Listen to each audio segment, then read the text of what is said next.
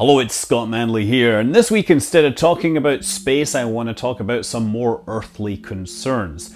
Now, I live in California. We do have a rather seismically active part of the world. If you paid attention to the news the last week, you'll know that there have been nuclear tests in North Korea, and yesterday a massive earthquake off the coast of, Mer uh, of Mexico. And first thing I thought of are the guys from Squad OK, and they tell us that they're shaken, but they're all right. But I'm not alright with the journalists that keep on automatically appending the words Richter scale every time they see a magnitude reported for an earthquake.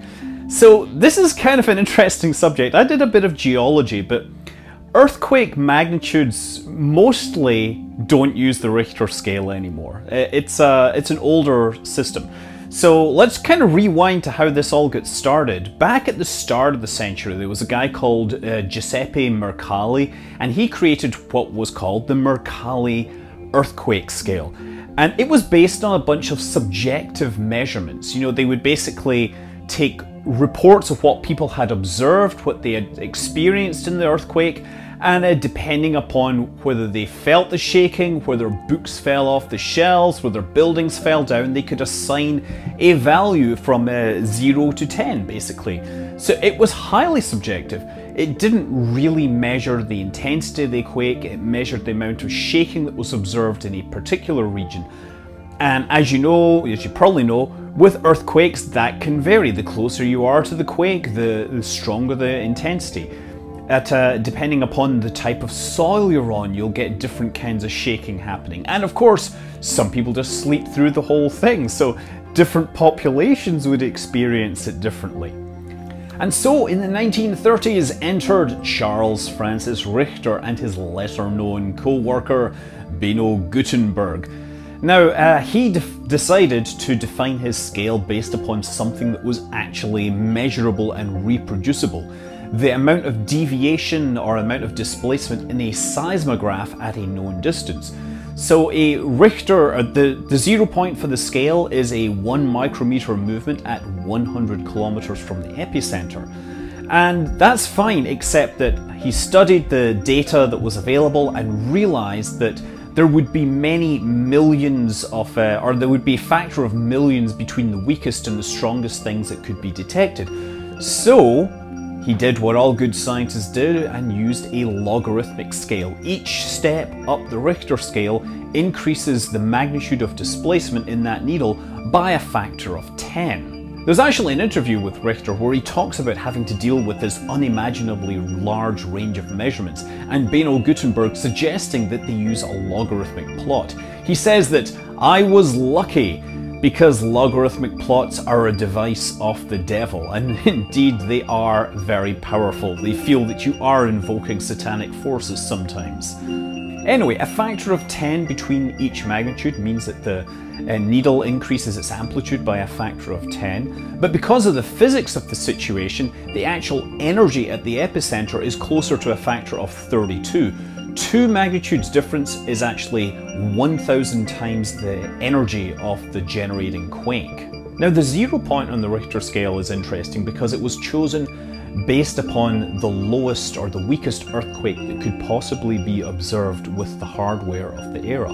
He didn't want to have negative magnitude earthquakes coming out because of course it's a logarithmic scale, something that was 10 times weaker uh, as than the weakest earthquake that could be observed in the 1930s would be a magnitude minus one. These microquakes could be seismically interesting, I'm sure, but they, of course, they wouldn't be felt by people.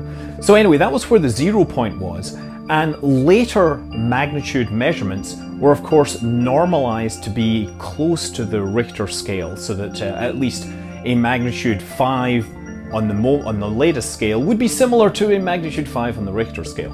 The other thing about the Richter scale is that it was based on a single measurement of the amplitude, the maximum amplitude, and as you can imagine, seismic waves are complex beasts. For example, when a quake happens, it sends out at least two main classes of waves. You have the push waves, which travel really quickly, and then you have the S waves that follow them up. And of course, you measure the time of arrival of each class of waves and then that lets you figure out how close you are to the epicenter. that was, of course, known back by, by Richter and it was incorporated into their magnitude model. Now, later on, Richter and Gutenberg tried to uh, improve on their model, to, on their system, to uh, work for earthquakes at much longer ranges. So they came up with their P wave measurement and they came up with a, a, measurement based upon the S wave. So these were the body wave magnitude scale and the surface wave magnitude scale. These were great, I mean, they improved on it. But uh, still, the Richter scale was only working on this single magnitude measure. And this began to be a, this would be a big problem with big quakes because they would be measuring the amplitude where the detectors were most were more sensitive, right? And that was typically with waves that are about 120th of a hertz. For the really, really big earthquakes, the low frequencies could be minutes, and those would just not be picked up. There could be tons of energy in frequencies that weren't covered by the seismometers, and they were just being uh, they were being underestimated terribly. So, for example, 1960 quake in Chile was like 9.5 magnitudes on the modern scale, and it, it wouldn't show up as anything more than 7 on the, the Richter style scale. So yeah, in the 70s they developed a new system. This wasn't Richter, this was a completely different set of people they started to try to standardize this, try to look at all the frequencies that were coming out of an earthquake and try to figure out where the energy was. And so this is the modern moment magnitude scale. It's trying to measure the amount of energy that's coming out of a quake. And what they're really approximating this back to is the they try to measure how much slippage is occurring along a fault line. So they attempt to measure the cross section, that's moved and how far it has moved. So you multiply one by the other and then you multiply it by mu, which is their kind of magic estimate of the strength of the material slipping. And that gives them the energy of the quake. And it works for everything. It requires a lot more complex analysis. You have to look at the waves to estimate uh, these cross sections and the slippage. But uh, there are tools that do this, especially with multiple uh, stations. So the system has moved from being a simple measurement of the maximum amplitude to measuring the whole frequency distribution and amplitude of all of these things and the timings and the distance. And this is how you get a modern moment magnitude scale.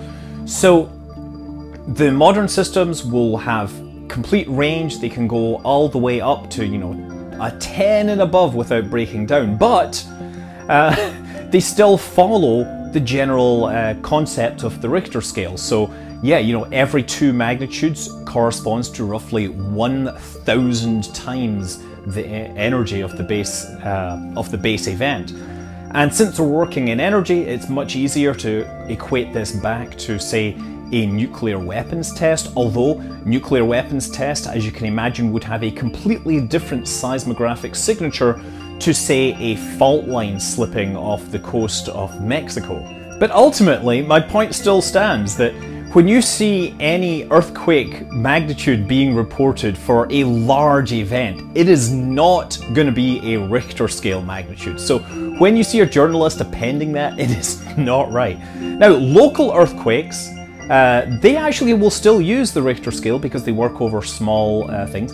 But uh, the US Geological Service won't report that and they won't report using those units. These are typically measurements that will come out of a single station or a couple of stations. When you have the might of the analytical power of the USGS, you're going to go straight to the proper scientific measurement and get some good numbers right away. Uh, so yeah, uh, the North Korean test, people asked about that. It was basically one magnitude roughly higher than the previous one. So it's reasonable to assume that it's about 30 times more powerful, putting it up into the 100 200 kiloton range right now. And I would love to talk about nuclear weapons at some point, but we're, uh, I've even thought bigger than this. You know, I did the math once and I figured out that the uh, the KT event, you know, the asteroid impact event that killed the dinosaurs, that is roughly a 13 to 14 magnitude earthquake event. You know, it's, it's crazy the, the stuff that can come out of this. Similarly, you know, did you know that seismometer networks can actually detect spacecraft? Now, um, you know, you might think, yes, launches, those generate some rumbling, but um, The space shuttle returning, as it would fly across the US, it would generate a sonic boom, and that sonic boom would travel across the country and it would hit buildings. And the buildings would get pushed slightly, and of course, they would get pushed and they would push the ground beneath them. So there would be a traveling seismic event getting pushed across the US at the rate of uh, the space shuttle's re entry. And this was picked up on seismometers. So, you know, yeah, there's my space thing for this mission. I'm not really a geologist, and there's probably many better videos on this subject, but yeah. Whenever you're reading this in the press, make sure you uh, stop talking about Mr. Richter because he's rarely involved these days. I'm Scott Manley. Fly safe.